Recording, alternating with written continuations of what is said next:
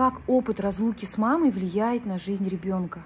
Если мама по каким-то причинам отлучается от ребенка, уезжает надолго, или ребенка забирают, изолируют от матери, там, даже в больнице оставляют, да, то у ребенка возникает очень много сложных чувств, сложных для него, потому что дети еще не в состоянии сами переживать и контейнировать свои переживания. Потому что когда маму отлучают от ребенка, э, очень много боли образовывается. Да?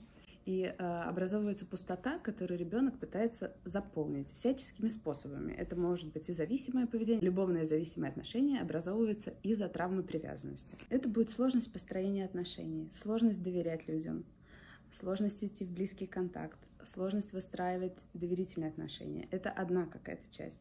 Есть другой вариант развития событий. Наоборот, это э, когда ребенок будет залипать, да, когда, например, э, девочка будет строить, ну, э, строить отношения с абьюзерами, насильниками, терпеть неуважительные отношения, побои, оскорбления. А почему так происходит? То есть она хочет чего? А потому что она хочет, она настолько недополучила вот этого тепла. Отношения с матерью в жизни ребенка это самые важные отношения потому что именно в них он получает первый опыт безопасности, близости, то есть закрывает все свои базовые потребности, и не только базовые.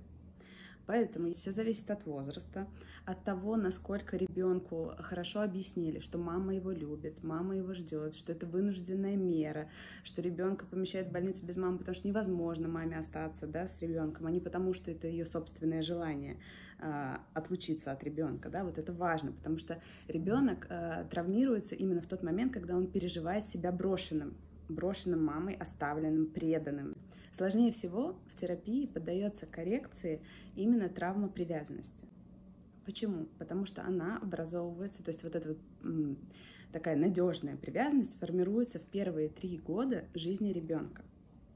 И это тот опыт, который очень сложно повторить потом в терапевтических отношениях. То есть, а если ребенку, например, год, ему уже нельзя объяснить?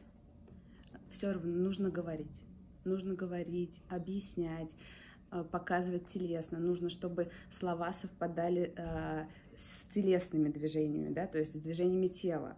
Э, чтобы они были конгруентны друг другу. Потому что, например, если мама э, вроде бы как начиталась умных книг и, и объясняет одно, а тело ее показывает другое, то есть что она сама хочет да, его оставить, угу.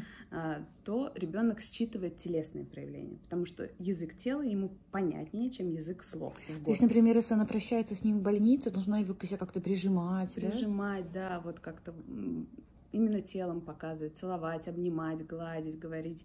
И вот вместе с этими прикосновениями, объятиями объяснять ситуацию, да, говорить.